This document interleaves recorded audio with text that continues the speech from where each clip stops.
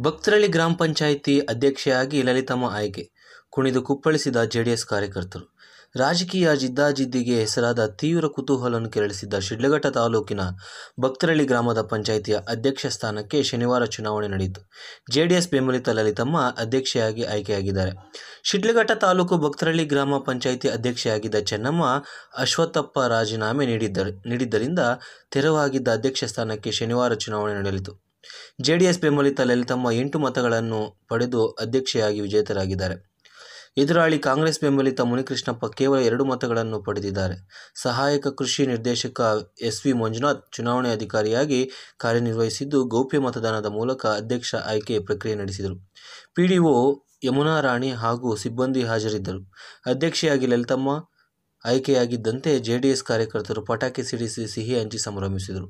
ಉಪಾಧ್ಯಕ್ಷೆ ಕಲ್ಪನಾ ಮುನಿರಾಜು, ಸದಸ್ಯರಾದ ಬಿಆರ್ ಮಂಜುನಾಥ ಶಂಕರಯ್ಯ, ಲೋಚನಾ ನರಸಮ್ಮ, ವಿಜಯಮ್ಮ, ಮುನಿಕೃಷ್ಣ, ಚಿದಾನಂದಮೂರ್ತಿ, ಮುಖಂಡರಾದ ರಘುರಾಜ್, ಎಸ್ಎನ್ ವೆಂಕಟೇಶ್, ಮುನಿರಾಜ್, ರಾಮಚಂದ್ರ, ರಾಮಣ್ಣ, ಕೇಶವಪ್ಪ, ಬೈರೇಗೌಡ ಇನ್ನಿತರರು ಹಾಜರಿದ್ದರು.